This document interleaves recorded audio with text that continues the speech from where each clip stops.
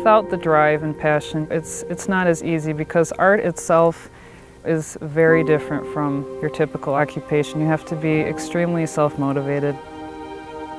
If you love what you do, it's not going to seem like work in that sense, but it is work in a sense where you have that drive to constantly grow and experiment and push yourself and your work. It's just a matter of loving what you do, being passionate about it.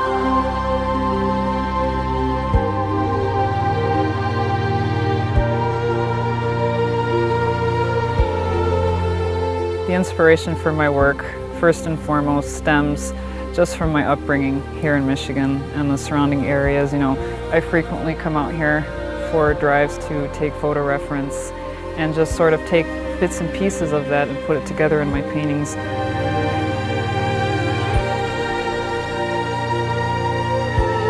Today I am a fine art painter um, represented by a gallery, RJD Gallery, out in Sag Harbor, New York. Some of the publications that I've been in have um, been, you know, ones such as CMYK Magazine, which happened while I was a student at CCS.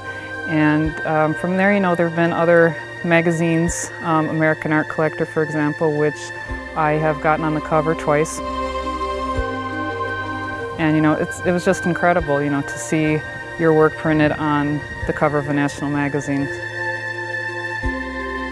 From being in illustration at CCS, it sort of instilled that whole business-like work ethic in me that really, really benefits me today.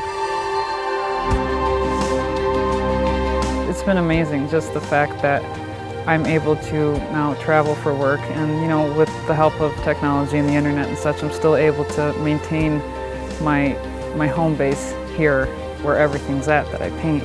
The paintings themselves just are an extension of myself and where I come from and all the different experiences I've had throughout my life thus far.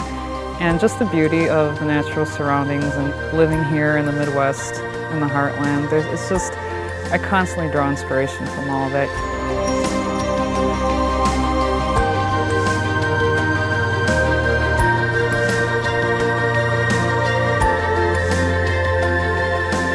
No, that, that's really the goal, just sharing my work with the world on a broader scale and, you know, just hoping that people connect with it.